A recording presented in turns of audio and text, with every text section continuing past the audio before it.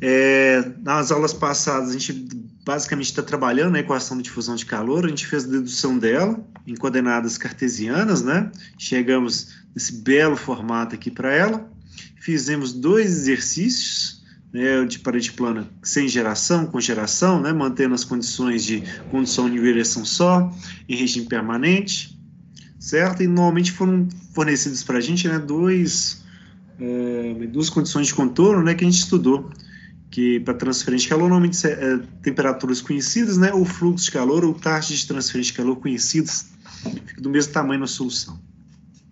Certo? E depois dessa parte cartesiana, a gente viu né, que é mais interessante para alguns tipos de problemas a gente trabalhar nas coordenadas cilíndricas, principalmente quando a gente vai pensar em tubulações, etc., porque quando a, você quer trabalhar em, em cartesianos, né, uma geometria que não é própria para você trabalhar desse jeito, você acaba ficando com dois, é, como é que fala?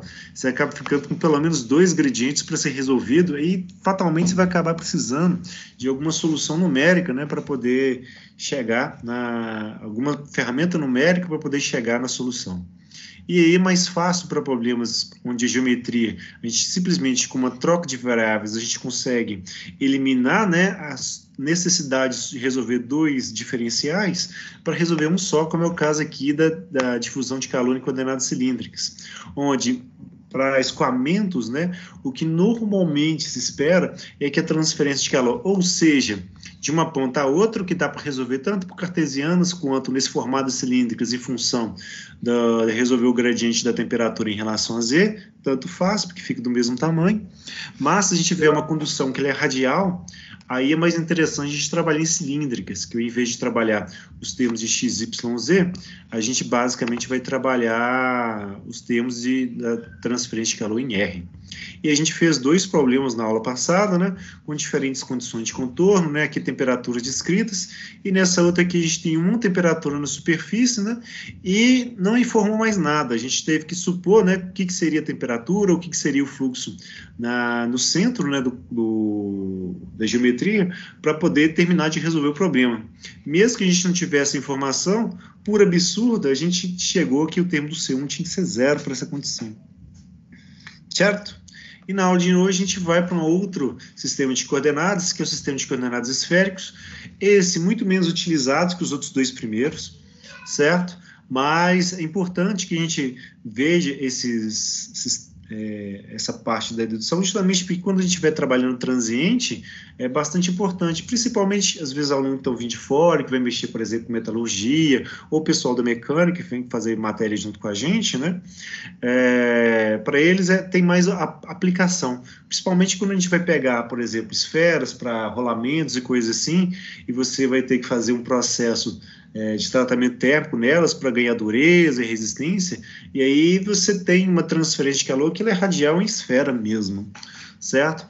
Para assim, para coordenadas esféricas, mesmo transferência de calor para engenharia de, de, química, as aplicações são muito reduzidas. Então, é, vamos dizer assim, é um, é um adendo na nossa matéria. Mas não deixa de ser importante e não deixa de mostrar que a distribuição de temperaturas ela pode assumir outros formatos justamente em função da, de como né, que a transferência de calor está sendo conduzida através de uma parede curva, como é o caso dessa esférica, e ao mesmo tempo né, quais são os efeitos, né, você ter geração de calor, de você não ter, certo? Ajuda a fortalecer o, a matéria anterior, também é importante, tá? Então, o que acontece? Nesse caso aqui, onde tem uma, como é que fala? Em coordenadas esféricas, a gente está fazendo a seguinte coisa: a gente está pegando um ponto no espaço, certo? E em vez de trabalhar ele em x, y e z, a gente está trabalhando ele em função de uma coordenada radial, que agora vai partir da origem e vai ir até o ponto, certo? E vai ter um ângulo que vai estar tá orientando né, esse, essa coordenada radial né, em relação ao eixo z, e a projeção desse ponto no plano XY, ela vai ser orientada é, em função do ângulo φ. Então, dessa vez, a gente vai ter dois ângulos e uma coordenada radial, certo? E aí, nesse caso, o que, que vai acontecer? O termo em x, ele vai depender do seno do ângulo θ, né? e vai depender do cosseno do ângulo φ. Então, ficaria R cosseno, como é que fala? R seno teta cosseno φ. o y ficaria aí seno aqui e seno aqui também. Então, seno de φ, seno de teta, né? R. E no caso de Z, ele ficaria só em função de R, né? Cosseno, já que está com o ângulo aqui, né? De teta. Certo? E aí, com esses três... É, fala esses três transformados, a gente basicamente substitui na equação da cartesiana, por exemplo, né, e vai fazendo aquele processo idêntico né, que a gente fez para cilíndricas. E aí, normalmente, a gente não faz esse tipo de dedução, porque para graduação, nhê, né, não tem muito sentido. Mas para quem está estudando em pós, etc., fica perdendo tempo com essa parte matemática mesmo certo? Eu fiz cartesiano para cilíndricas para vocês e o processo é basicamente a mesma coisa. Substitui e vai fazendo um ou outro truquezinho algébrico para poder chegar nessa mesma formulação, tá? A transferência de calor que a gente vai ter interesse de estudar nessa parte aqui de esféricas é justamente a transferência de calor radial. Então, do mesmo jeito que a gente fez para as outras, né? Uh, o que normalmente vai acontecer é que a gente vai cancelar os termos de θ e φ e os termos do tempo e vai ter geração de calor ou não. Quando a gente estiver estudando os efeitos é, de transiente, aí sim esse, essa graduação aqui em, em a, o gradiente em relação ao tempo, ele não vai ser desprezado, mas sim em outro momento, tá? Por enquanto, a gente vai com a parte mais simplesinha, etc., justamente para a gente ganhar também, vamos dizer assim, gordura para a gente estudar o que a gente chama de resistências térmicas, que é o tópico da nossa próxima matéria, e literalmente, dentro de transferência de calor, a parte mais importante na, na hora que a gente vai pensar em projetos, etc. Tudo bem? Alguma dúvida, gente? Só foi feita uma pequena transformadazinha né, de cartesianas para cilíndricas aqui, para esféricas aqui. Chegou no formato, né, um tanto quanto longo, né, mas ainda factível da gente chegar na solução disso e aí vamos ter alguns outros problemas para a gente poder resolver. O primeiro aqui ó, é uma condução radial e parede esférica, que vai estar em regime permanente sem geração de, interna de energia. E a gente vai pedir, ele está pedindo para a gente achar as mesmas coisas, né? achar a distribuição de temperatura, a taxa de transferência de calor e o fluxo térmico nas superfícies interna e externa, ou seja, nessa superfície aqui, que é o oco da esfera, e aqui na superfície externa, né, que seria a, a superfície de fora dela certo? Então, basicamente isso que ele quer que a gente faça no primeiro exemplo. E para um segundo, ele informa para a gente que vai ter condução em uma esfera mesmo. Dessa vez, é, todo o. Como é que fala? Como é que fala? Ela não vai haver nenhum vazio no interior dela e vai ter geração de calor. São os dois problemas para a gente fazer, né? Muito parecido e muito análogos, né? Porque a gente fez para as paredes cilíndricas, né? Um tubo, que é um cilindro com furo no meio, e depois um, um cilindro mesmo. E aí, para esférica, a gente fazer primeiro com uma casca esférica e depois a gente fazer para uma esfera em si. Certo? Esses dois exemplos já coloquei aqui para a gente. Eu coloquei sobre o exemplo que a gente tinha feito para cilíndricas, então as equações para cilíndricas estão todas aqui, é a mesma solução, tá? Eu só coloquei o enunciado e o. Como é que fala? E o desenho relacionado a ele. Então a gente vai ter que editar cada um deles para poder resolver. Alguma dúvida, gente? Podemos ir para o desenho, para a solução. Tranquilo, né? Então vamos lá. Uma linha bem tranquila, a gente vai terminar esses exemplos mais rapidinho mesmo, e aí eu vou passar alguns exercícios para vocês tentarem fazendo. Certo? Então vamos lá, o exemplo 1, parede agora esférica certo? Aproveita que aqui já corrigimos isso, já vamos corrigir aqui no de baixo. Eu gosto muito de trabalhar essas, essa primeira parte aqui, de, de deduzir de maneira com mais cuidado, porque na hora que a gente vai trabalhar a parte de resistências térmicas, fica muito mais claro na cabeça da gente. Então, vamos editar a, a nossa equação. Dessa vez, aqui para o lado de fora, a gente vai ter um R ao quadrado, Vamos colocar esse quadradinho aqui. Aqui vou ter um quadradinho também, que é a diferença de um para o outro. Certo? Aqui fica r quadrado, mas também tem um seno quadrado de θ, se eu não me engano. Seno com letra minúscula, please. seno quadrado de teta aqui dentro é quadrado, seno quadrado, é isso mesmo, só isso que modifica. O outro fica diferente, porque aqui ó, os termos em Z, eles vão ficar né, em função do outro ângulo, que é o próprio θ, que θ também.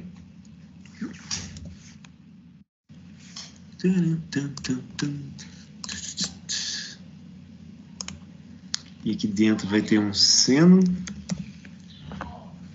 Tirar o cálculo aquele aqui antes. K seno θ Fica muito parecido, só não vai ter o quadrado aqui nesse denominador, então eu vou dar um Ctrl C, Ctrl V aqui. Vou tirar esses, essas marcações aqui, porque por enquanto a gente não vai usar. Vou colocar uns pouquinhos. A derivada de temperatura. Por que, que eu tenho um teto aqui? Era aqui é esse teto. Aí apareceu no lugar errado, então, não, R ao quadrado, KR, não, isso aqui está certo, esse daqui eu acho que está certinho também. R ao quadrado, seno. Seno, o que é isso mesmo? São esse quadradinho aqui dá mais. Pronto. Então, a equação aqui, já no formato cilíndricas, já vou copiar ela e também vou jogar ela aqui para baixo. prontinho. E agora vamos lá. Se é uma condução radial em parede esférica em regime permanente, a primeira coisa que a gente vai eliminar vai ser o termo da derivada no tempo, né? Se derivada em regime permanente, então já vamos opa, inserir aqui aqueles pequenos recortes, as hipóteses. Então, esse termo aqui para a gente não vai existir. E já que é uma transferência de calor apenas na direção radial, o que vai acontecer é que tanto a derivada em relação a θ como em relação a filas vão ser nulas, certo? Então, a gente também vai cancelar este e este termo, certo? E para esse primeiro problema é sem geração de energia. Então, vamos cortar o termo geração de energia aqui também certo? Então, basicamente, a gente vai ter as propriedades são constantes, porque o K para a gente é de 10 watts metro Kelvin, então um valor constante também. Então, o que a gente vai começar a fazer é pegar essas, essa expressão que sobrou, e ela é igual a zero, e resolver. A diferença para a gente da radial, etc., é que basicamente os R's né, agora eles vão estar ao quadrado, tanto aqui dentro quanto aqui do lado de fora. E lembrando, como é um derivado em R, o R aqui para a gente ele tem um comportamento de função. Então a gente não pode cancelar um com o outro de jeito nenhum, senão a gente está pegando a matemática e, dando um tabefe na cara dela. Aí chama Maria da, da Penha aí dá uns problemas horrorosos.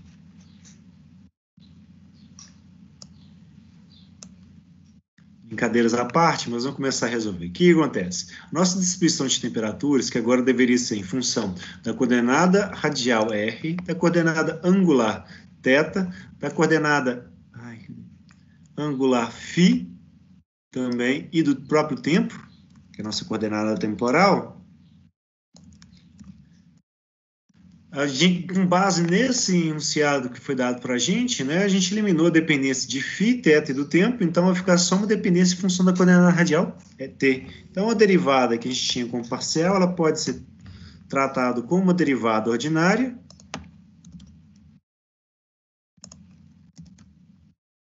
aqui, e a gente resolve a partir daqui, basicamente, né, integrando por partes. Vou pegar tudo que depende de R aqui, passar para esse lado, certo? Eu passar o SR, o quadrado, DR, o K eu posso passar dividindo. Então, basicamente, fica com R mais aqui, aqui na parte de dentro o idem, que não pode sair, e a gente vai integrar. Quando integrarmos, por, em função desse zero aqui, a única coisa que a gente vai obter, ao invés de um R a terceira sobre 3, né, você simplesmente é constante C1, certo? E então, esse R ao quadrado, que a gente tinha aqui dentro desse derivando, ele vai passar dividindo para cá. Então, dessa vez, não vai dar o, como é que fala, a função logaritmo né, na próxima integral. Porque quando a gente for passar o dr multiplicando né, e for integrar dos dois lados, a integral de a função r ao quadrado é, um, é menos 1 sobre r. Então, a gente ficar, na verdade, com o termo C1 negativo, né? E ele inteiro dividido por R. Deixa eu melhorar aqui. Só um para trás. Isto. Vou botar dar certo. Aqui.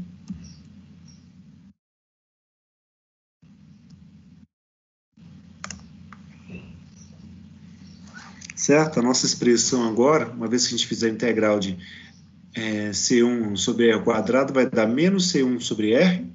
Tá? É só pensar que a gente teria uma função é, do tipo U elevado a A du para poder integrar. Que aí, como esse U aí vai receber um mais um, né? E vai vir o, o, o valor do A dividindo, né? O A para a gente vai ser menos 2, certo? Então, vai ficar R elevado a menos 1 e o... Como é que fala? É, é, é vai vir multiplicando né, o, o, o, A, o A mais 1. Então, menos 2 mais 1 vai dar menos 1. Então, por isso vai ficar só o negativo aqui, ponto menos 1.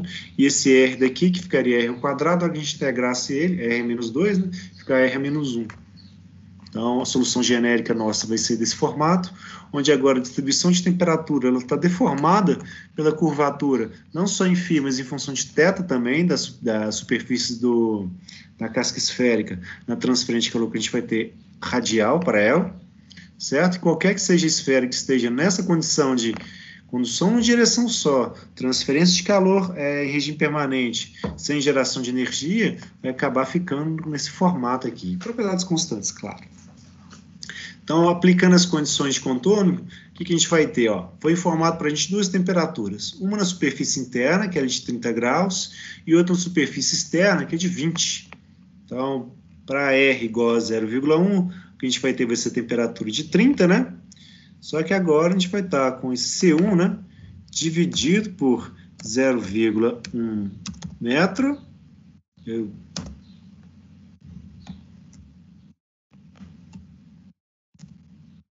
certo? Essa seria a nossa primeira expressão. E para R igual a 0,2, a gente vai ter basicamente a mesma coisa. Ao invés de ser logaritmo, vai ser o termo do C1 né, dividido 0,2 agora.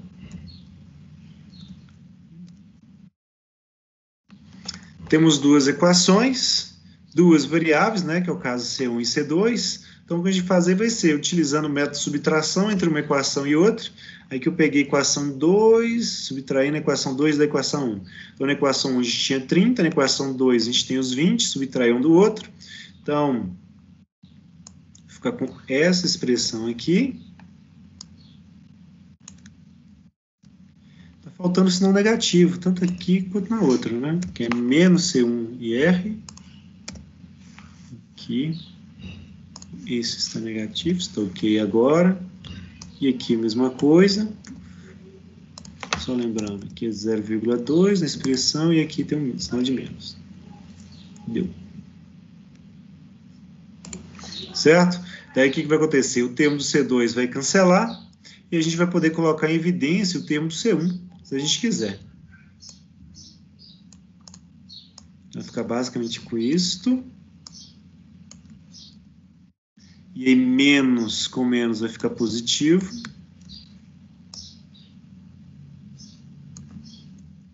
Mais esse daqui. Aí ficamos desse jeito. Basicamente, a gente vai tirar o mínimo múltiplo comum agora.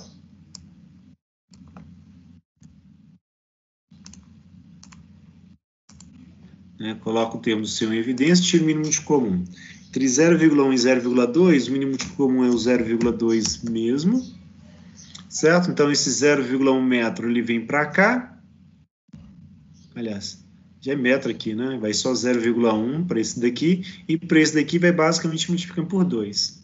Então, vai ficar menos 2, por conta desse sinal de menos aqui, ó, que não foi colocado em evidência.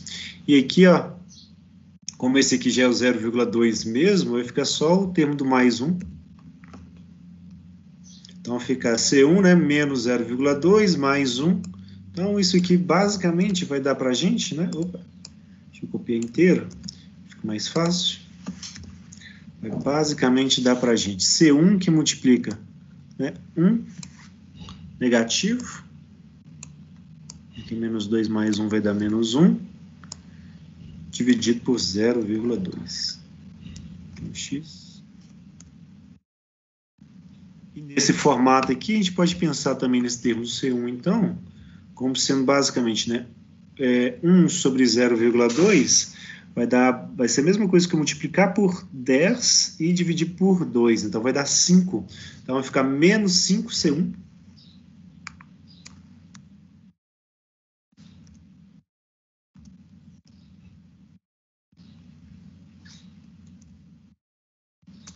Os indivíduos aqui ficou bonito. Pronto. E agora que a gente tem isso aqui, 30 menos 20 vai continuar dando 10 para a gente. Vou passar esse menos 5 dividindo, e o termo do C1 para a gente, ele vai ficar os 10 graus Celsius dividido por menos 5.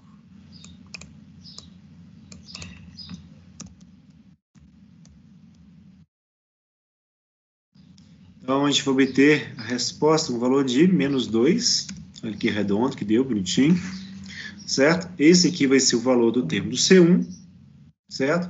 E se esse é o valor do C1, na hora que a gente pegar a equação 2, que está aqui, e for substituir o valor do C1 lá, eu vou obter basicamente isso aqui, ó, menos 2, substitui aqui, tirar, Então, ficar menos com menos vai ficar positivo no, final das contas, tá? Então, vai ficar 2 positivo. Aqui a gente vai ter, dividir por 0,2, então vai basicamente ser multiplicado por 10. Ou esse valor aqui vai dar 10 graus para a gente. E na hora que passar para o outro lado vai ficar negativo. Então vai ficar 20 graus Celsius menos 10. Estranho.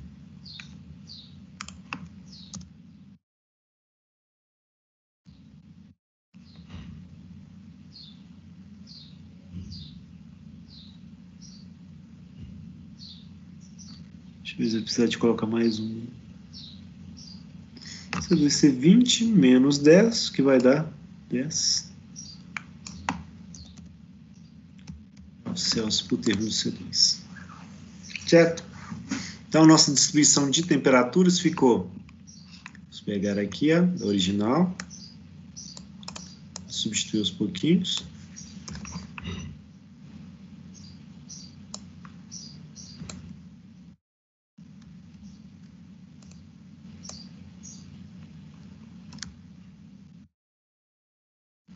Esse menos C1 aqui era, seria substituir por menos 2.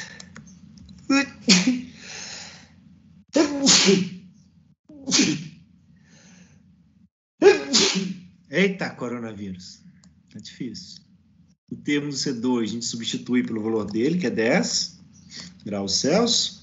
Então, menos com menos vai acabar ficando positivo, esse 2 graus aqui. Então, vou deixar ele positivo, Ctrl X. Ficar 2 graus Celsius dividido por R, né, mais 10. Essa aqui seria a sua solução particular. Com base nessa solução, vamos criar um gráficozinho para ela. Vamos pegar aqui, ó. Lembrando, né? A nossa parede está indo aqui de 0,1 até 0,2. Não me interessa outros valores. Então, o valor do R, aqui o valor da temperatura. O R para a gente está indo de 0,1 depois somando mais, me fala, o valor anterior mais 0,01, arrasta aqui para baixo, até 0,2, e esse daqui vai ser 2 dividido pelo valor em R, né, mais 10. Primeiro deu 30, bom sinal, o último tem que dar 20. deu certo também, bom sinal. E agora vamos inserir aqui, ó, nosso gráficozinho. Colocar, eu sempre prefiro um gráfico de dispersão, né, mas vamos colocar ele assim, ó, suave com um bordinho, só para a gente ter um gráfico bonitinho. Tá? Quando é experimental, é gráfico de dispersão mesmo, né? sem linhas, etc. Não entendi, só quero selecionar dados, adicionar R, ok, o Y para a gente vai ser isto, distribuição de temperaturas, ok, vamos fazer um layout rapidozinho, sim. Vou tirar isso aqui, só uma linha mesmo. Vamos editar um pouquinho os gráficos. Aqui vai ser temperatura. Em graus Celsius. Enquanto aqui, opa,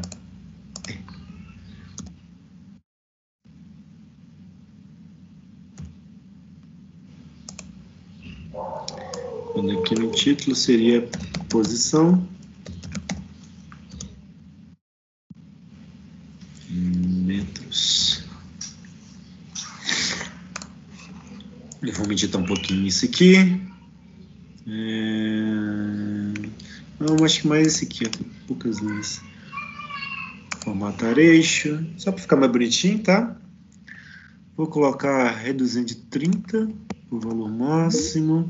Em vez da unidade principal fica em 5, a gente tem menos linhas, eu coloco ali em 10. Certo? O eixo X aqui, vamos brincar com ele também. Deixa ele começando aqui a de 0,05.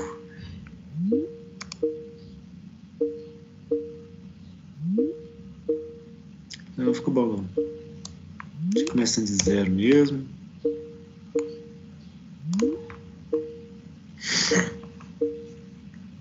Ah, que mais? É, não ficou legal não. A unidade principal terminando ali.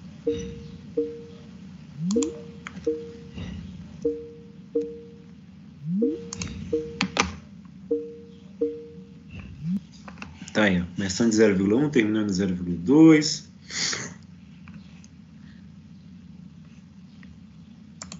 Isso.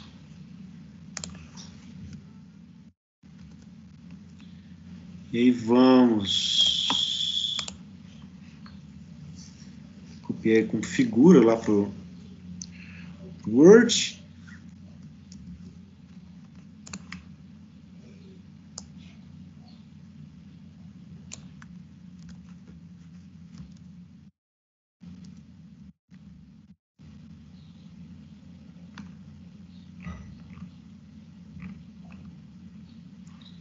Acesso particular chegando aqui. Vamos reduzir, jogar para cá, deixar ela como quadrado. Beleza. Essa aqui é a nossa solução particular. Basicamente, a gente vai vendo né, que a temperatura está variando com a função inversa mesmo. Certo? E agora a gente tem a solução particular, vamos achar as taxas de transferência de calor e fluxo térmico, tá? Então, a taxa de transferência de calor, já que é uma superfície esférica, né? A área de transferência de calor também vai ser uma área que vai ser a área externa, por exemplo, né, da esfera. Então, quem lembra aí quanto que vale a área da esfera?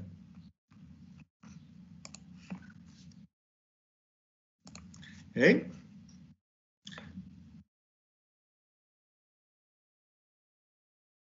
Quanto que vale a área da esfera, gente?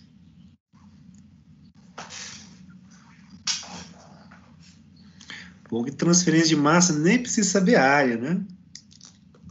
Mas basicamente, para a gente, a área da esfera, se for procurar ver, é 4 pi r ao quadrado.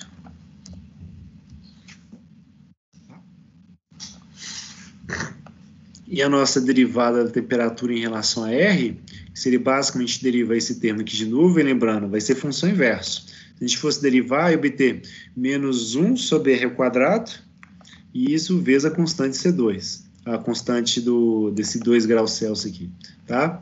Se não quiser fazer desse jeito, pode dar uma olhadinha aqui, pra, aqui antes, né? Que vai achar onde basicamente né, a derivada da temperatura em relação a R vai ser basicamente o termo do C1 sobre R ao quadrado. Vai vir multiplicando. Então, se a gente pega nesse formato para taxa de transferência de calor, basicamente os R's né, vão estar se cancelando. Então, a gente ficar com 4π, né, tem um negativo aqui na frente, os raios se cancelaram, vai ter o K, o termo do C1 e só isso. Então, basicamente, para esse problema, quando vai ser uma taxa de transferência de calor só, que vai estar entrando e saindo da superfície, a gente vai ter uma taxa de transferência de calor, vai ser isso aqui, ó, 4π K C1, que é a constante. Então, substituindo os valores, né, a gente teria 4, o π, a condutividade estaria aqui, os, os próprios 10 watts por metro Kelvin, e o termo do C1 é menos 2 graus Celsius. Certo? Então, basicamente, a gente teria aqui ó, o 4 vezes 10, 40, né? Vezes 2, 80. Então, vai ficar 80 pi watt. Né? 80 pi, opa,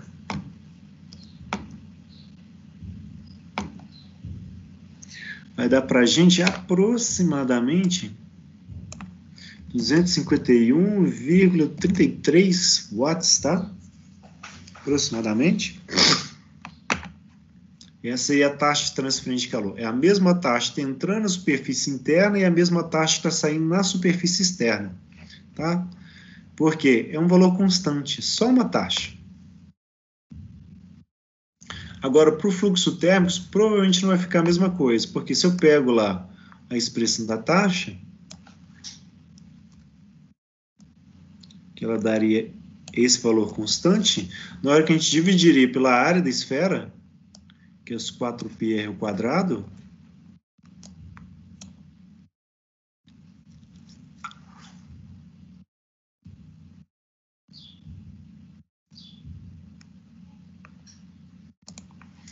que a gente vai obter vai ser os 4π cancelando um com o outro, a gente fica com K, o termo do C1, e um R ao quadrado aqui dividindo. Certo? Então, agora a gente vai ter um fluxo térmico que também vai estar variando com a área. Certo? Porque a taxa é constante. Como a área varia, o fluxo tem que variar também. E nesse caso vai variar com o quadrado do raio. Então, com maior for o raio, menor o fluxo vai ser né, ao quadrado. Então, o K já está aqui, o termo do C1 já está aqui também, e o R ao quadrado aqui embaixo, ou seja, vai ter basicamente né, menos 20, não, mais 20, né? Então, professor. Sim. É, tem alguma forma que a gente vai avaliar o volume da, da superfície onde a gente está trabalhando? Ou... É, quem tem volume é sólido, né? Superfície só tem área. Isso, isso mesmo.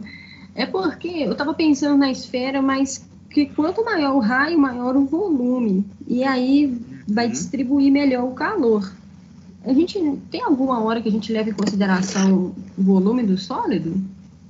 Quando a gente tiver a transfer... quando tiver geração de calor no volume dele, sim. Se tiver só uma energia atravessando, igual esse caso aqui, a gente não vai ter não. A gente viu isso, aí abrindo aqui, ó a parede cilíndrica, por exemplo, onde com geração de calor, né, esse volume acabou aparecendo aqui, ó. Cadê? Depois a gente achou a distribuição de temperaturas, olha o volume aqui, ó. Que a gente uhum. achou basicamente na hora que pegou a área transversal, né, multiplicou por termo C1, acabou fornecendo volume. Por quê? Essa taxa de transferência de calor no sólido né, vinha de quê? Do volume produzindo né, energia em função da, do tipo de geração que aparecia aqui dentro. Talvez um efeito Joule, talvez uma reação química, mas aqui sim a gente tinha o termo do volume. Para o último exercício vai aparecer basicamente a mesma coisa. Beleza. Certo? Mas basicamente o volume está relacionado aos processos de geração. e não só conduzindo, né? Obrigado. Por nada. Então, voltando para cá, a gente ficou com esse é, com essa expressão aqui para o fluxo térmico, né, 20 sobre R ao quadrado, e agora que a gente tem isso, a gente vem e substitui aqui, ó, para o 0,1, né, e para o termo do 0,2 também. Aí lembrando, né, o Kelvin cancela com Kelvin, esse método vai ficar aqui mesmo, etc. Ah, acho que temos um R a mais aqui em algum lugar, vamos ver. Só pela unidade que deu para perceber. Que R quadrado cancelou aqui. Aí 4π, K. Aqui passou, beleza. Aqui ficou por R quadrado, 4π. Termo C1. Ah, é na unidade do, do C1, quer ver? Ficou errado. Que esquecemos aqui, ó. Porque era C1, né? 1 menos, é, que multiplicava 1 menos 0,2, né? E esse método dividindo aqui. Então, esse método dividindo ficou faltando. Então, esse 5 aqui, ó, estaria dividido por metro.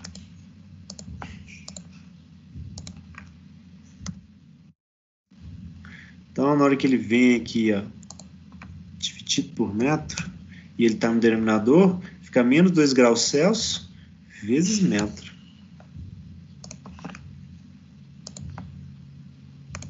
Certo? Estou colocando metro aqui depois, porque achar que é milicels. Milicels não existe, não. Então existe, né? Mas usa zero. Então, vamos colocar os sinais de metro aqui, ó. Nas outras expressões, para chegar nos valores corretinhos. Que aqui metro cancela com metro, fica grau Celsius, aí ok.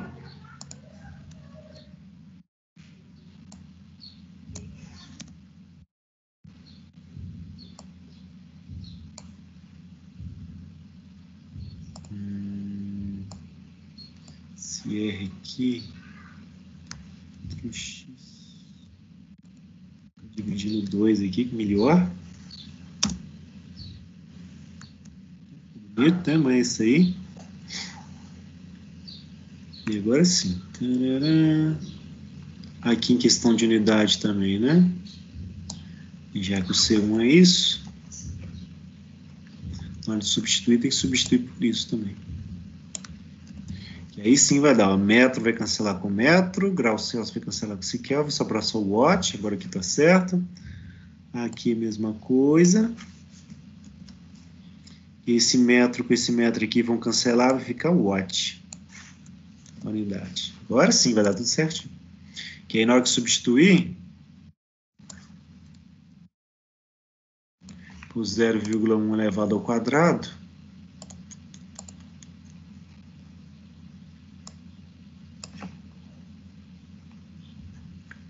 Vamos. Sim, aí ser a mesma coisa multiplicar por 100, então vai dar 2.000 watt por metro quadrado.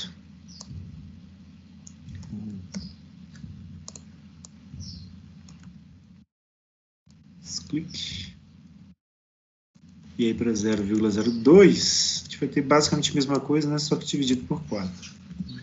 500. Aí, ó feito o primeiro, tá? Foi rapidinho, né? Como já tem todas as equações prontas, é só vir substituindo.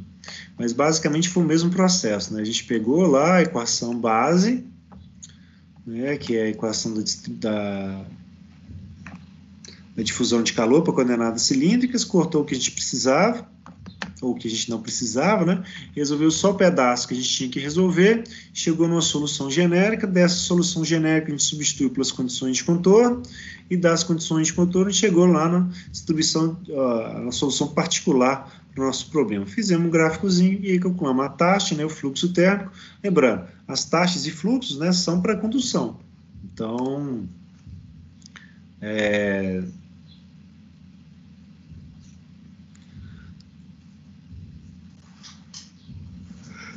A gente está substituindo pelas expressões que a gente achou aí nas paredes.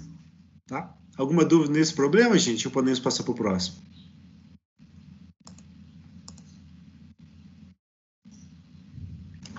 Pode passar para o próximo. Então vamos lá para o próximo. Então vem aqui o exemplo 2 parede esférica. Deixa eu aumentar esse figurinha aqui, não o suficiente para que ponto sair, mas basicamente o que a gente vai continuar fazendo, né? Nossa derivada em função do tempo vai continuar como zero, uma derivada em relação a θ em, em relação a φ também vai continuar zero, ambas, né? Porque é uma transferência de calor apenas na direção radial, então a gente não vai ter nada angular, nenhuma nem na outra. Só que agora vai ter geração de calor, né? Na nossa esfera vai estar aparecendo, né? Esse efeito aqui, ó, de geração de 60 kW por metro cúbico. Ô, oh, professor. Hum. Sim. É porque é, na sua tela de compartilhamento, ó, tá, que estava aparecendo no cantinho aqui, eu ia pedir você minimizar para aparecer só o a resolução do exercício. Ah, tá. É que estava aparecendo aqui minha cara. Ah, Depois o pessoal ia ficar vendo. É. Então, acho que agora está aparecendo, não é só gente. Então, já deu certo, já deu certo, já não está aparecendo é. De vez em quando, na hora que eu passo aqui em cima, ele acaba ficando aqui, mas é. É o Teams, né? Ele está evoluindo ainda. Agora que está sendo amplamente utilizada, vai aparecendo as demandas, o pessoal começa a reprogramar ele, e aí quando ninguém estiver usando ele mais, aí já está pronto. Com basicamente tudo, né? Então, vamos pegar nossa equação aqui, ó, com esse terminho aqui, que é o termo quadrático nosso, que é o que sobrou, já vamos substituir a expressão dele. É, basicamente são só quadrados a mais, estão dentro e fora. Agora tem a geração, né? ela está aqui positivo, passa para o outro lado negativo. E na hora de a gente passar os termos, vou passar um R quadrado aqui, para ser integrado. Então, quando fizermos essa integral, engraçado, ela está aparecendo duas vezes? Ah, não, aqui é sem a expressão integral, aqui com a expressão integral. Então, duas vezes o mesmo passo, mas não. E aí, quando a gente integrar esse termo aqui do R ao quadrado, ele vai ficar um R a terceira, certo? Dividido por 3. Certo? Base nisso, e na integral do outro lado, onde ficou com r ao quadrado dtdr, esse r ao quadrado aqui ele vai passar dividindo. Quando ele passa dividindo, esse r terceira aqui vai virar r de novo, né? aqui não é 2, é 3, e a gente ter o C1 né, sobre R ao quadrado. Então, é isso daqui que a gente vai integrar. Integrarmos, né, esse menos que ponto R sobre 6K vai virar R ao quadrado, eh, sobre 3K vai virar R ao quadrado sobre 6K. A única diferença que a gente vai ter. Certo? Do cilíndrico para esse, né, o termo quadrático, em vez de dividir por 4, ele divide por 6. E aí aqui ó, vai ser, de novo, né, o menos 1 sobre R.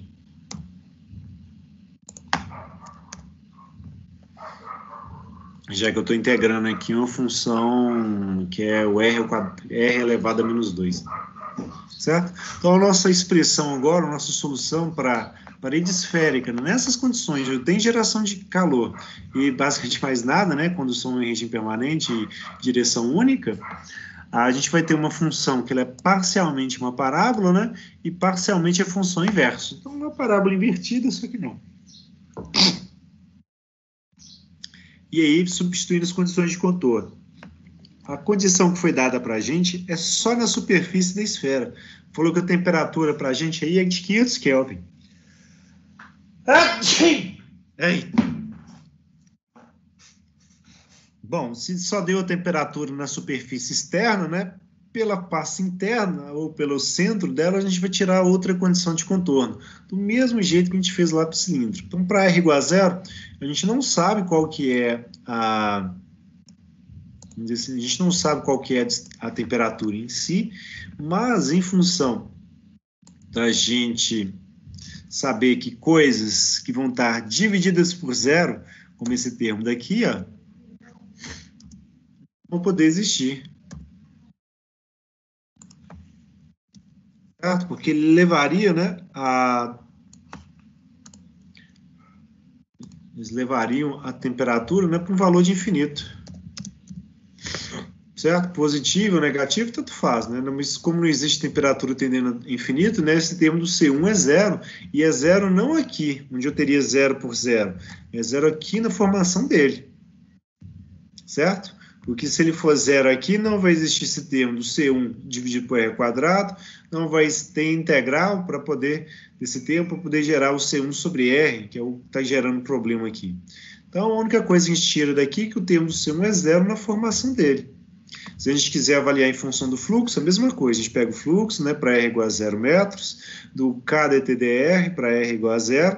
Então, a gente pegaria lá a expressão da derivada de temperatura em relação a R, que seria esse termo daqui. E aí, substituindo, aqui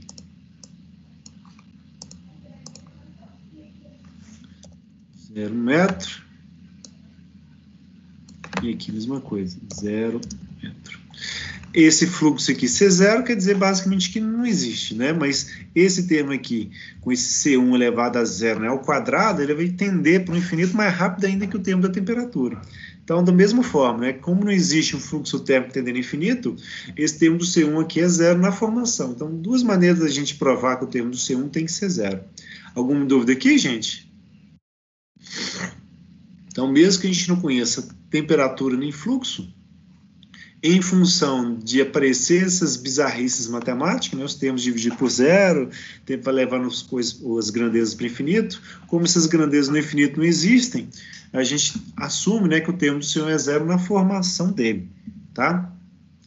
Uma maneira da gente pensar é que se a temperatura ou mesmo o fluxo de calor fosse infinito em qualquer pedaço que tivesse no universo, né, a gente nem estaria aqui para ficar discutindo se existiria ou não, certo? teria tanta energia sendo enviada que as nossas pobres células né, não, conseguiriam, não conseguiriam ficar estáveis, né? Elas desnaturalizariam. Ah, é 42 graus ou próximo disso, então. Então, vamos resolver aqui. Ó. Se isso não existe, vamos entrar para a nossa condição de contorno, onde basicamente a gente pegar o termo da taxa de geração de calor, né? E substituir aqui, opa, cadê? Pela expressão dele. Vamos ver o que fica diferente, né? Que ponto para a gente? Vai ficar negativo do mesmo jeito, só que agora é dividido por 60 mil. O R para a gente está ao quadrado, está ao quadrado, beleza, sobre 6 vezes o K. Só coloquei aqui do lado para comparar, ver se não estava errando nada. Beleza. Esse termo daqui para a gente vai dar 60 mil dividido por 60, vai dar mil, que multiplicado por 0,01, é, mesmo que dividir por 100. Então, seria mil por 100 vai dar 10, certo? Então... Hum, 60 mil aqui, 6 mil, 10 mil, diz por mil vai dar 10 mesmo. Então, C2 passa para cá, mais 10, 30, vai dar 40. Desconfiado aqui, só um instante. 60 mil divide 60 multiplica 0,01. Vai dar 10 mesmo. 10 mais 30 vai dar 40. Assim, estou desconfiado. aqui é 30. Está aqui. Ah, não, esse aqui que tá, tá me deixando desconfiado. Porque não é 30, né? É 500 Kelvin a condição de contorno. não em Kelvin. 500 Kelvin. Então aqui também é 500 Kelvin. Então, em vez de dar 10 graus Celsius, vou manter ele aqui como Kelvin, sem mudar a variável né, de graus Celsius para Kelvin. E aqui eu vou deixar uns 500 pm. Então, valor verdadeiro do termo C2 é 510. É isso que estava me cheirando meio estranho. Isso não faz sentido. Não tem nada que dá 40 nesses primeiros exercícios. E a nossa distribuição de temperaturas, né? Hum, a gente mexeu alguma coisa aqui desse jeito. Né? É só nesse daqui que a gente fez transformado. Mas como está tudo em Kelvin, dá na mesma, tá? Se quiser trabalhar em graus Celsius, seria aqui, ó, passa aqui para graus Celsius, R, e aí, esses 510, estaria vindo aqui, ó,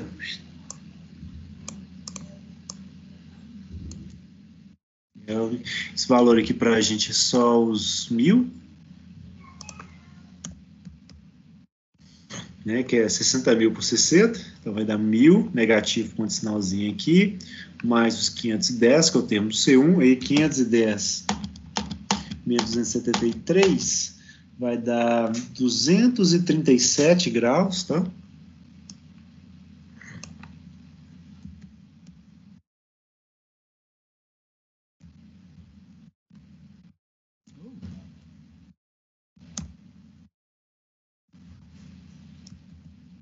assim.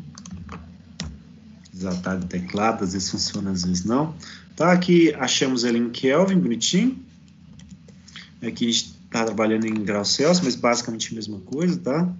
O que muda é só, o, só a constante. Aqui nesse termo que dá inclinação não tem mudança nenhuma. E para nossa distribuição de temperaturas, já que a gente tem o termo de geração agora, vamos colocar ele aqui. Ó. A expressão para a gente é de 1000 aliás, menos 1000, né? Que multiplica o valor do R né, mais os 510 Kelvin.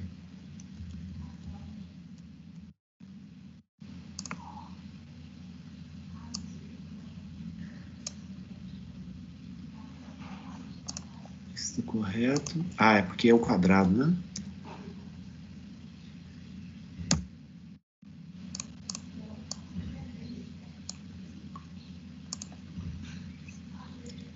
Conferir aqui.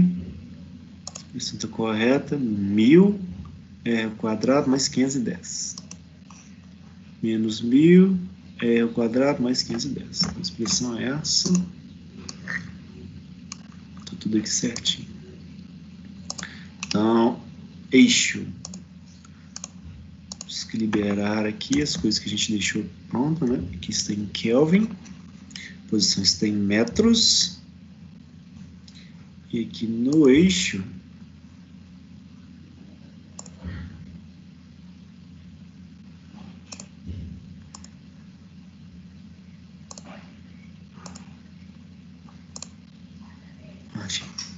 ações do eixo, vamos liberar aqui, ó, ficar automático e ver que vai ficar uma parábolazinha, né?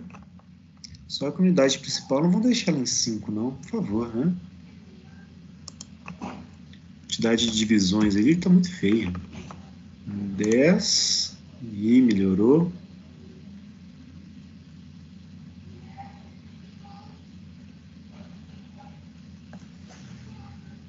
Ah, é, é verdade, né? Não está saindo de 0,1, está começando de zero. Então, pegou lá as 510, que é a temperatura no centro mesmo, foi até 500 e chegou onde a gente precisava que ele chegasse mesmo. Nesse eixo daqui, só trocar a unidade principal por dobro, que fica menos numerozinhos aqui embaixo. Mas não apareceu um, né?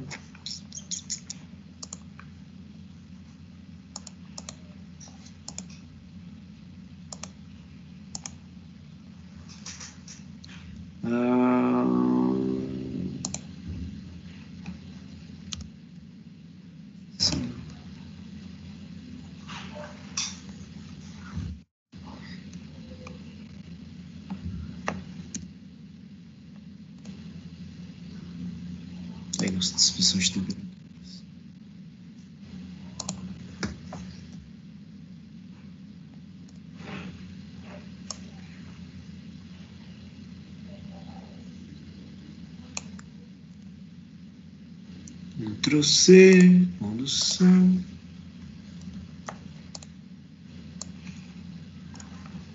B quadrado está aí na solução particular. Certo? E taxa de transferência de calor, vamos brincar com ela. Né? A área para a gente é a área da esfera, então é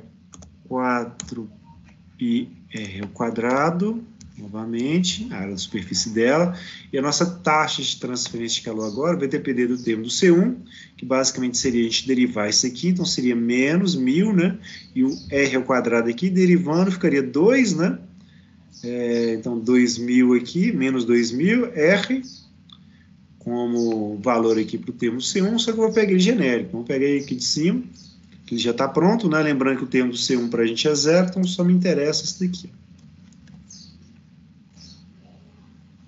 Opa, isso eu peguei certo, peguei. Então, menos Q ponto R sobre 3K. E aí o que vai acontecer? O K vai cancelar com K. Os R's aqui eles vão se unir, vai ficar em função de R ao cubo e não R ao quadrado. Temos um 4 multiplicando, né? um 3 dividindo.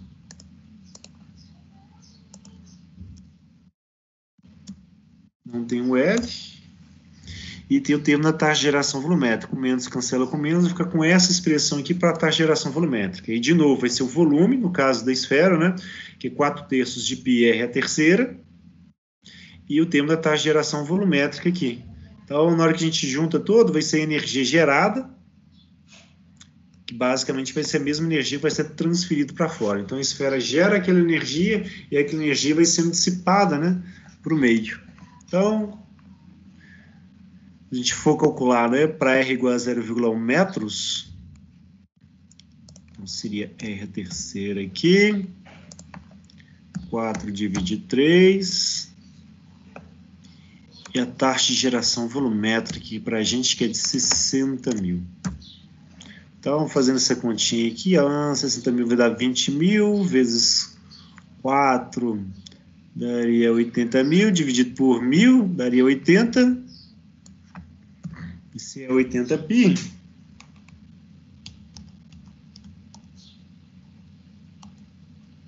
vai dar os 251,33 watts. Essa seria a nossa taxa de transferência de calor, certo? Dessa vez a gente demonstrou né, que ela é variável, né, com mais, vamos dizer assim, o maior for o R, né, maior vai ser a taxa de energia gerada, e logo a taxa de transferência de vai crescendo com o quadrado de R, com o cubo de R, perdão. E aí, na hora que a gente substituir, a gente vai substituir pela expressãozinha aqui da taxa do fluxo. Ctrl C, Ctrl V, lembrando que a área da esfera é isso daqui, então, substitui também. Então, o 4 vai cancelar com 4, vai ficar um 3 dividindo. Certo? O R ao cubo vai simplificar com esse R ao quadrado, vai ficar um R multiplicando aqui. A gente vai ter a taxa de geração volumétrica copiada também, o π vai cancelar com π, e basicamente ficar com R vezes a taxa de geração volumétrica sobre 3. Ou seja, vai ficar a taxa de geração volumétrica, que é os 60 mil watt por metro cúbico, dividido por 3, então vai dar 20 mil watt por metro cúbico vezes R. Certo? Essa seria a nossa taxa. Então, notem que, que como a energia gerada vai crescendo com o cubo do raio e ela que vai ser energia transferida, como a nossa área depende do quadrado do raio, na hora que a gente pega o cubo e divide pelo quadrado, vai ficar uma dependência que vai ser linear. Então, quanto maior for o raio, maior também vai ser o fluxo para esse tipo de problema aqui nosso, certo? Então, o fluxo vai crescendo linearmente, basicamente em função dessa interação aqui entre o volume que está gerando né, e a área que está transferindo o calor. Certo? E aí, vamos substituir, né? Ah, para o centro vai dar zero. E para a superfície de fora, né, vai dar...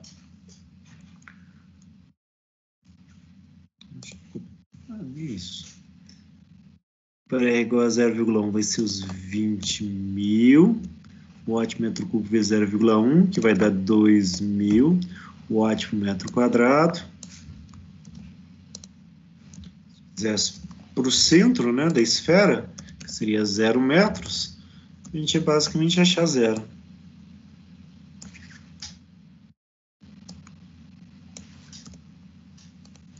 Para o fluxo. Então, já não começa a ter muita novidade nesse tipo de problema. Certo? Então, isso aqui eu vou postar para vocês, vou deixar lá no, no Canvas de uma vez. E, enquanto isso, também vamos já achar alguns probleminhas para deixar vocês fazerem, tá? Dentro dessa parte da matéria aí. Isso eu pego uns exercícios bem interessantes. Isso eu acho alguns a gente poder fazer. Primeiro vamos postar esse aqui no Canvas de uma vez.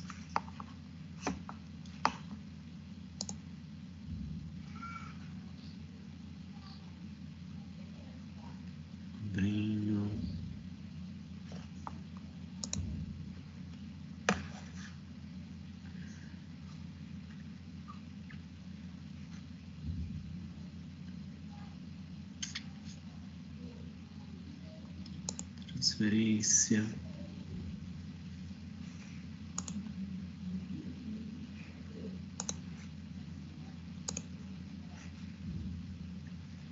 Opa. Vamos aqui, a condução. Vê que eu estou organizando tudo aqui para ficar mais fácil de achar, né? Tem a apresentação, que está aqui mais recuado, aí tem as aulas que estão a, a parte, o link, né, para cada uma das aulas, que ele está com um recurso só todos os documentos que a gente gera nas aulas, eles estão com dois recursos, então para poder identificar, né, de um para outro, onde está cada aula, qual documento pertence a cada uma delas, tá? Então, vamos colocar ele aqui, ó. Depois desse exemplo,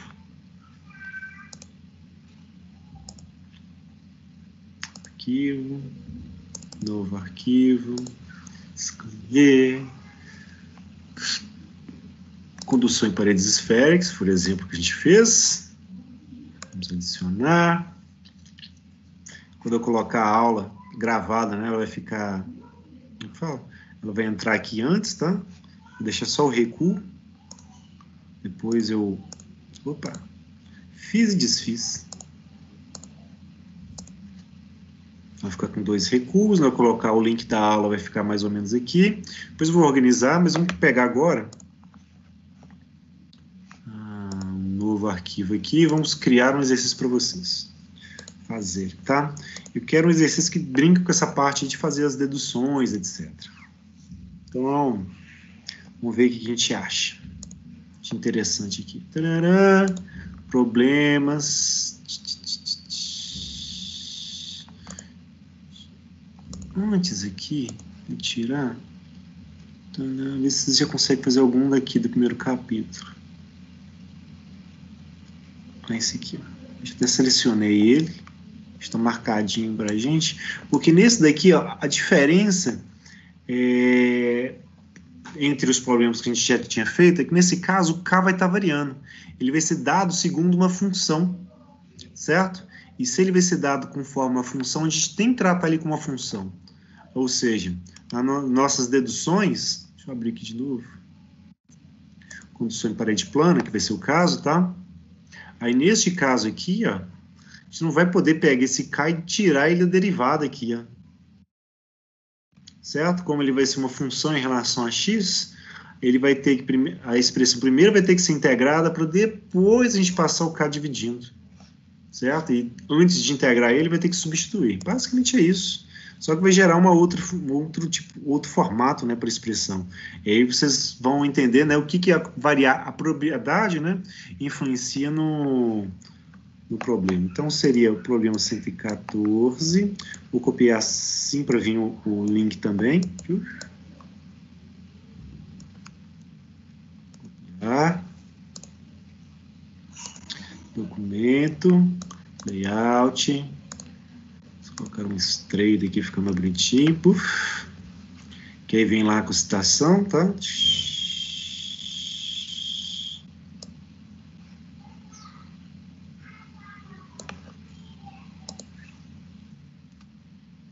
colocar ela antes, só para deixar o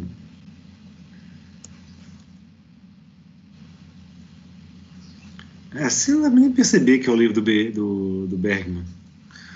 Bergman Cropera. Mas enfim.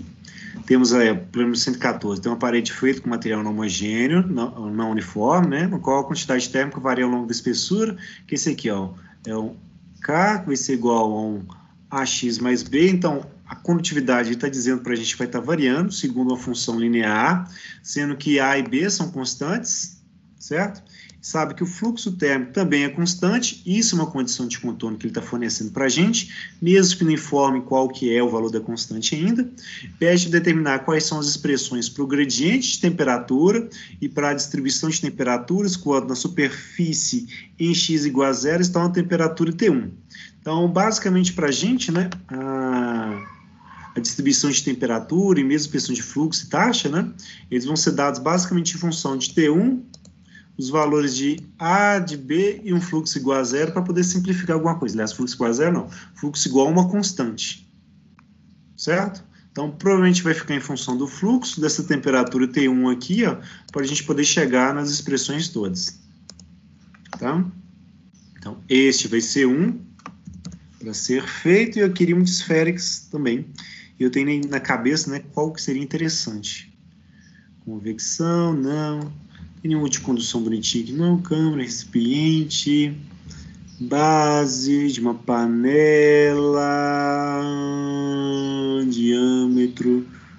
Opa, não, não, não. Vamos lá para o capítulo que a gente está mexendo mesmo. Capítulo 1 tem vários exercícios de toda a matéria do livro, tá? A introdução à condução, que seria a parte de. Gente vai vendo as expressões, equação de difusão de calor, etc. Vamos ver se a gente acha uns problemas. Difusão térmica. Só mostrando essas expressões, essas deduções todas que a gente fez, né? Parede plana, parede esférica, etc. Então, para os problemas mesmo, não peguei nenhum problema resolvido do livro, tá? Minha cabeça.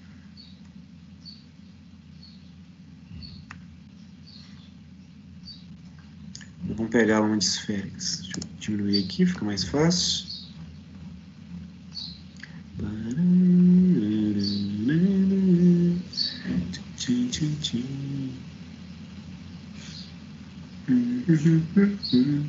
Que já foi até para esférica, que não cilíndrica.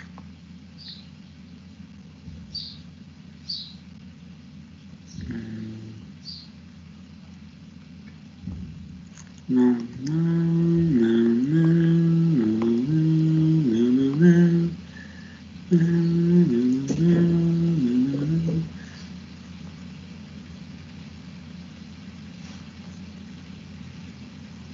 Ah, esse aqui é interessante. Tá? Nesse caso aqui, ele deu para a gente qual é a distribuição de temperaturas, tá? Ele quer saber a taxa. Ah, muito simples. N.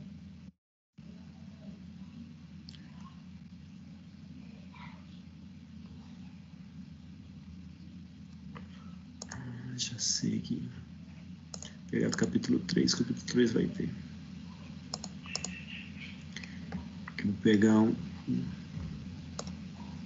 capítulo 3, que já é a parte de resistência térmica, mas eu corto o que não for, vocês não souberem ainda. Que lá tem alguns pontos. Hum, hum.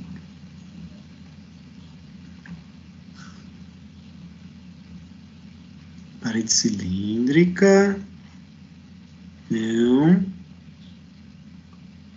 Hum. go.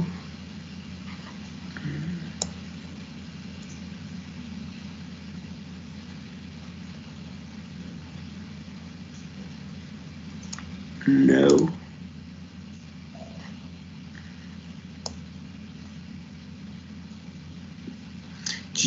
Diâmetro, resistência térmica, esse fio quanto tanto, taxa de transferência de calor dissipado, qual a dissipação?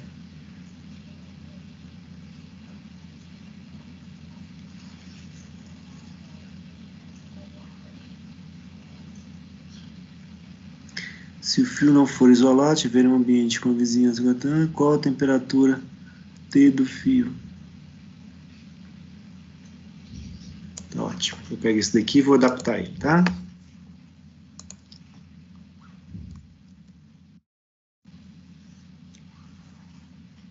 Pega a mesma coisa aqui,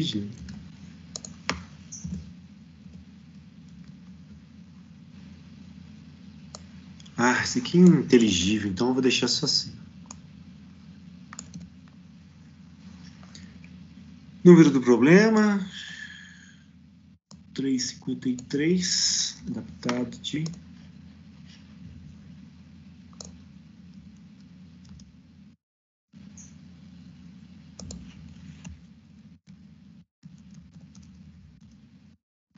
Três ponto três tem um fio, o diâmetro dele está aqui, a temperatura dele está... É... Temperatura uniforme? A temperatura dele não vai ser uniforme, não o fio e propriedades uniformes.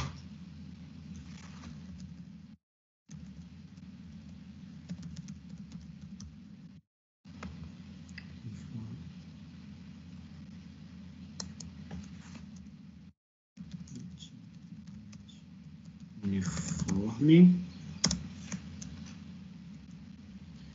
Condutividade para a gente vai ser. Vou colocar a condutividade colocar do, como é que fala, do alumínio, tá? Seria de 237, só que eu vou arredondar para a conta ficar mais próximo, mais fácil para vocês, vou ficar com 240, tá? Watt por metro Kelvin. Cadê você?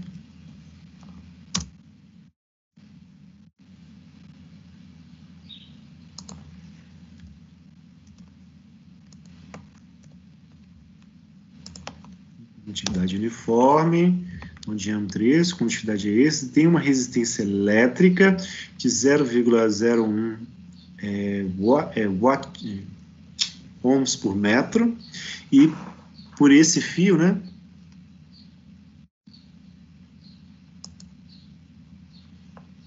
resistência elétrica por ele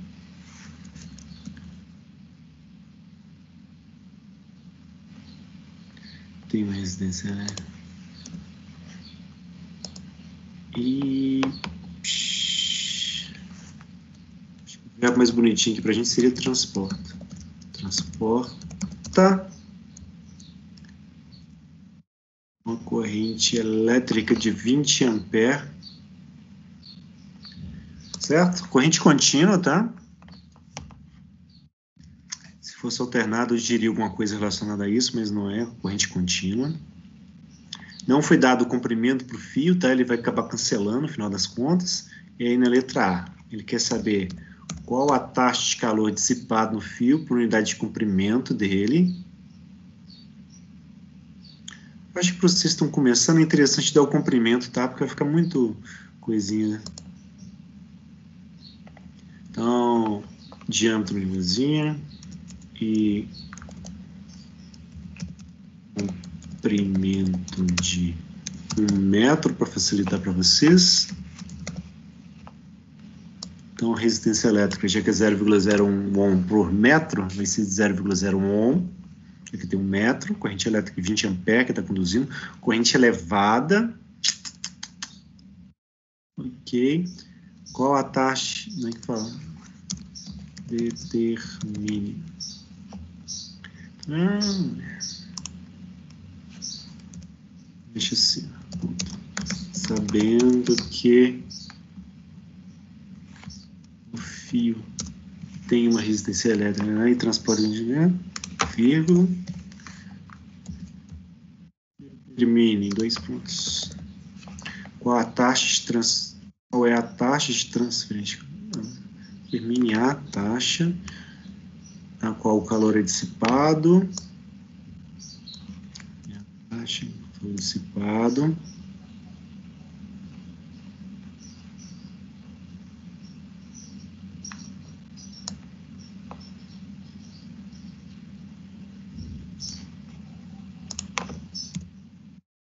B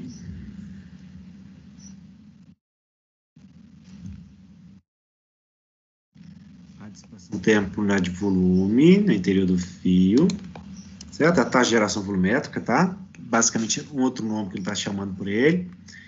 E na letra C, vai falar para a gente o seguinte, ó. Se esse fio não for isolado, estiver um ambiente com uma temperatura de vizinhança igual a 20 graus Celsius, qual vai ser a temperatura? Ele chama aqui de temperatura, vamos mudar aqui para qual será a distribuição de temperaturas.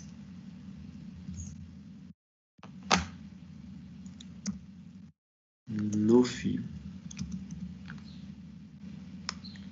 E corta isto, ponto aqui, esses outros tem que vir com ponto e vírgula, né? seguimos na rominha da PUC. Letra B, já coloquei adaptado o dia ali, então vou arrancar essas citações todas aqui. Então vai dar para vocês fazerem isso. Então está adaptado deste e tem esse aqui para fazer. São dois problemas, né? um para parede plana, esse aqui está ok para a gente poder trabalhar ele, tá? E aqui para parede cilíndrica. Deixa chamar esse T1 aqui, deixei mais bonitinho. Ó, que bonito.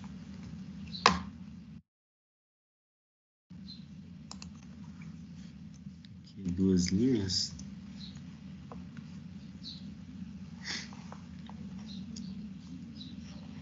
Constante. Então, o primeiro aqui é um problema genérico para poder fazer só com a informação que foi dada para a gente, né? Que é esse fluxo de calor constante, a temperatura aqui é um T1, né? E a condutividade variando para a gente pegar a equação da, da parede plana, né? E trabalhar com ela, vocês pegarem as expressões. E aqui um outro probleminha, onde ele né, dá as informações sobre como que a gente calcula né, a geração de energia interior do fio, né? Porque querendo ou não, vai ser efeito Joule essa geração, então vai ser é, é, corrente ao quadrado vezes a resistência para achar a energia gerada nele.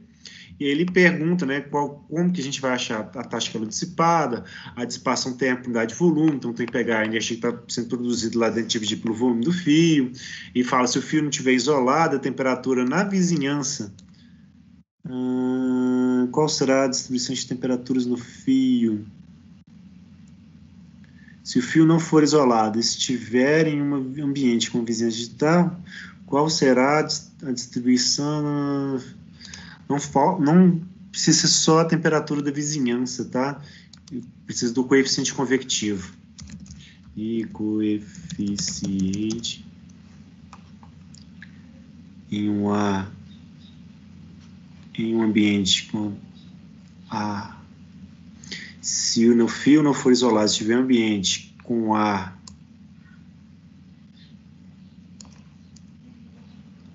ambiente com ar,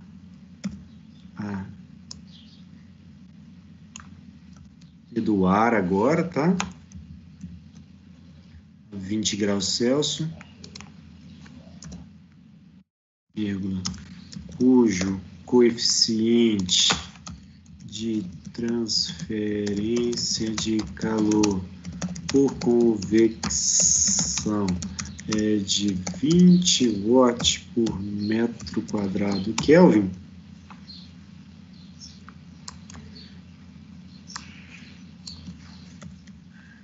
Agora sim vai dar para resolver, tá?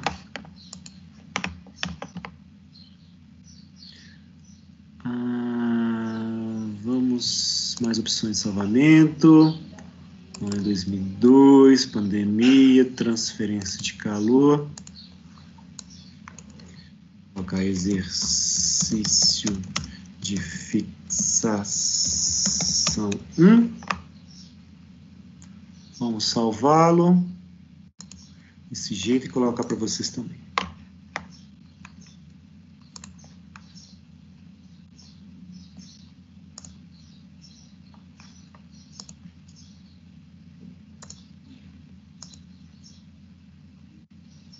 claro, né? Vamos precisar de uma tarefinha. tarefa, nova tarefa, Seção 1, adicionar. E pode ficar para sexta-feira, né? Temos tempo até lá. Vários dias. Então, existe fixação 1. Vamos digitá-lo.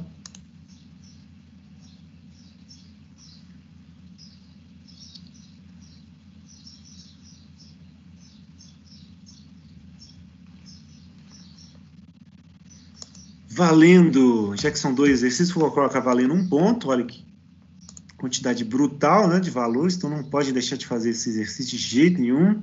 Um carregamento de arquivo, tarefa não é em grupo, tá? Ela é individual. A entrega vou deixar para sexta-feira, o horário vai ser 10h40, que é o horário que termina a nossa aula. Por que, professor? Porque uma das coisas que eu quero fazer é tirar dúvidas justamente nessa parte da matéria, para a gente poder seguir a restante. Então, eu quero que todo mundo comece a trabalhar com suas equações, etc. E a partir de agora. Notificar, salvar e publicar.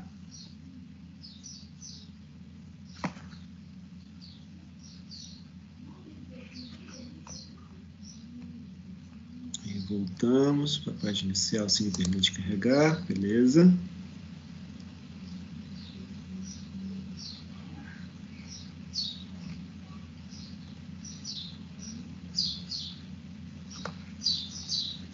Vamos aumentar o recuo.